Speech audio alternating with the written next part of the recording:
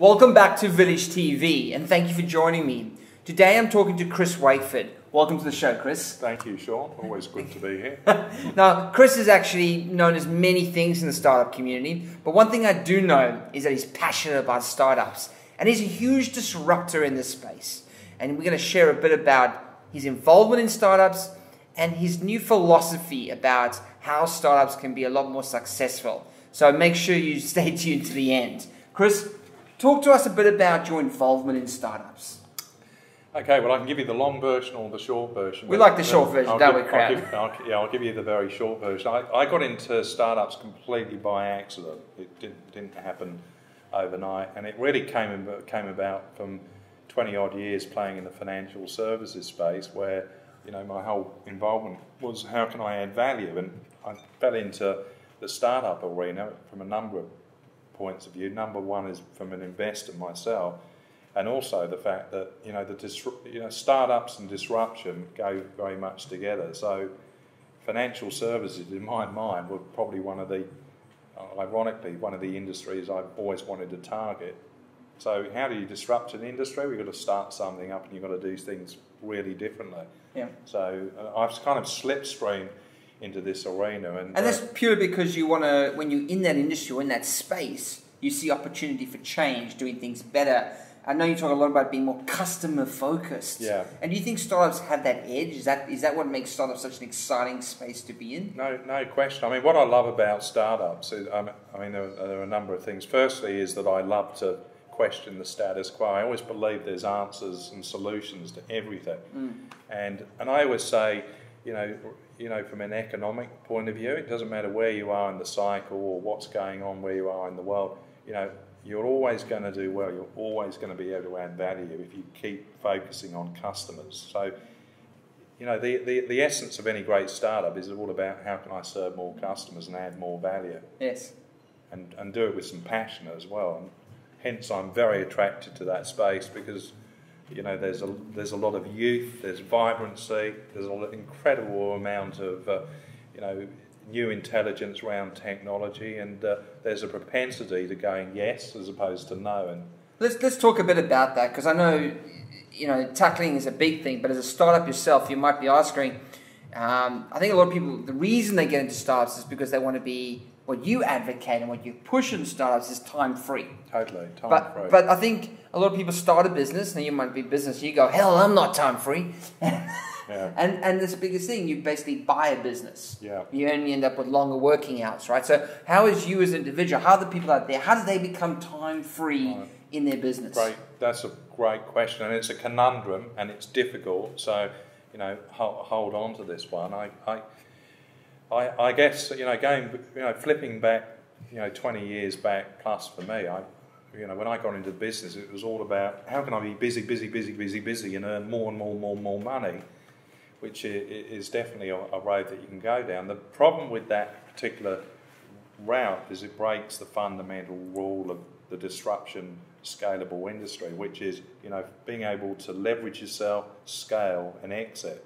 So Leverage, scale, and, And exit. exit. Leverage is So leverage is something that you can leverage. In other words, it's something that people want, like software, or you, you don't want to be selling something that nobody wants. so you got to make sure people want what you have to offer. Absolutely, yeah. Second is scale, and that's I guess Scale. to take abilities go from That's the- one to ten thousand. Yeah, that's the vertical. So the Vertical. vertical could be, it could be, you know, I heard of a lady in the US in garden gnomes, believe it or not, the vertical was enormous. The market was small, but the vertical was huge in terms of the ability to climb into the hemisphere. And that's, I guess, making a product, be it a pen, but Yeah. being not being able to just make one, but to be able to make ten thousand and quickly. absolutely, yeah. Okay, great. And the last one, And the last one is exit. exit. So now, why is exiting important? So exit to me is everything, and pretty well my sole focus every day. And I always say, you know, what, you know, business is fundamentally all about having relationships. So, with having any great relationship, the irony of a relationship is if you can't exit from it, you can't grow it.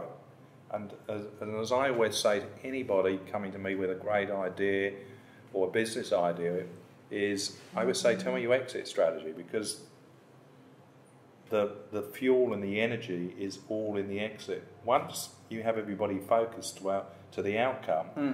you can then scale it exponentially. Let's talk And about what, the and what, exit. and what- and what that and what I mean by that is that doesn't mean to say that you exit the business and you have to bail from it. Yes. You can stay in it. But I, for me, as a business owner, I'd rather bail the company and then be offered a seat back on the board as a consultant or whatever. Yeah. So I could stay there for the next 20 years. The point being is that with a successful es- exit, three things happen. Firstly, is that you get all the relationships, you get more relationships. Yep. The second thing that happens is that you get all the money. You definitely get all the money, I Yeah. can assure you. And the third thing that happens is you get opportunity. So there's you're basically giving yourself more opportunity to do more work elsewhere on a bigger volume. Is that what you're saying? abs- absolutely, you can see, and you can scale once you once you've exited one company. You know, the the greatest difficulty is actually exiting a company. Sure, most people I know in business have never exited the company. Never. It's quite amazing when you think of it. So when someone comes to you with the business idea and says, "I want to exit," Yeah. what do you what do you want to hear from them? What do you want them to say? What's saying to you to make you excited about investing in that Okay, business? Okay, yeah. So, well, well, the first thing is, yeah, I definitely want to talk about when we exit. In other words, how how are we going to grow it? Okay, what's why are customers going to come to us, and how can we get to it? Now, the fundamental reason why I want to hear that is that a small. I'm in the small startup business world. I'm not in high volume, hmm. fast moving consumables. My role is to roll something up for the Googles of this world to handle. They can much better handle the customers. Remember what I said before about Yeah. being able to serve customers? My goal is to serve more customers. Okay. So, in other words, the business structure's got to be created for the next person. So, a small business and large business, they're two different ends of the spectrum. Yeah. Very few people these days will ever build a small business into a large business. It's usually done on trade sale, not so much on IPOs and all these other fancy things people talk about. So to me, it's you know the exit is critical. The other thing, the last thing I just want to say is that you know we we obviously get on very well with one another now, but I want to know that I'm not stuck with you for the next 50 years. so I like to have that conversation. absolutely, We and I- might- you, might want to go to Africa, and I might want to become a you know a Himalayan priest or something. So it's great to have those those cards on the table.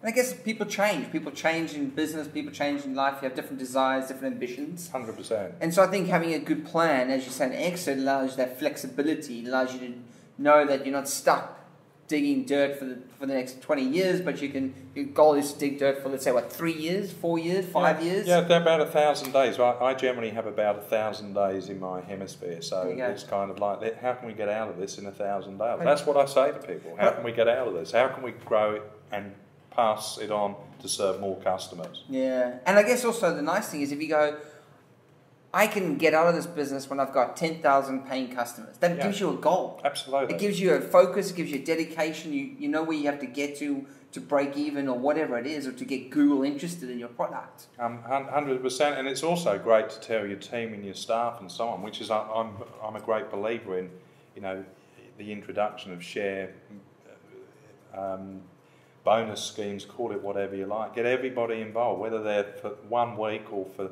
three years. There you go. You know, there should be plenty. There's there's enough to spread around to take this to the next level. So you get your exit right, and that makes you time free. Is that what we're saying? If you do it well, you will definitely become time free. There's no, no, no question. I've been in enough exits now to say one good time free, you'll probably never have to work for the rest of your life.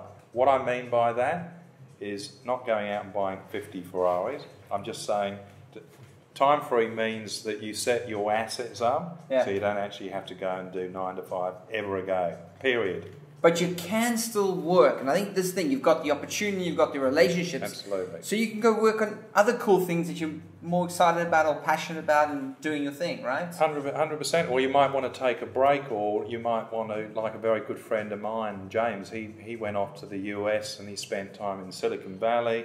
He's he's in Los Angeles, and he comes back to Australia now, pumping with new ideas, new relationships. Rolodex is just ticking over with names that you know you only dream about.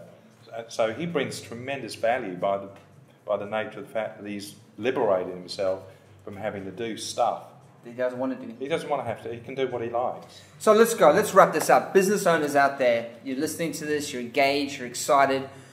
Chris, what would you recommend they do right now to make sure that they take their business where they are? They're working 12 hours a day.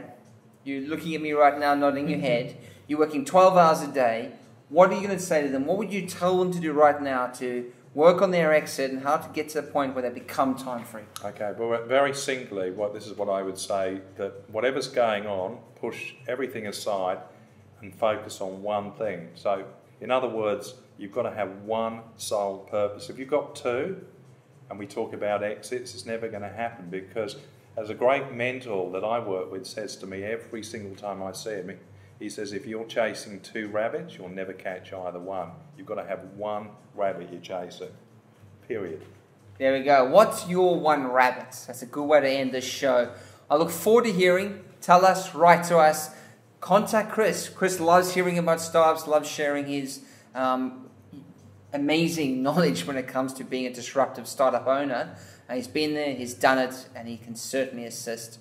Chris, thank you for joining us on the show. Thank Thank you. you for back on Village Yeah, TV. Anytime. Make sure you subscribe. Chris is a regular here and he'll be sharing some great tips coming up. So stay tuned and we'll see you back on Village TV very soon. Cheers for now. Fantastic.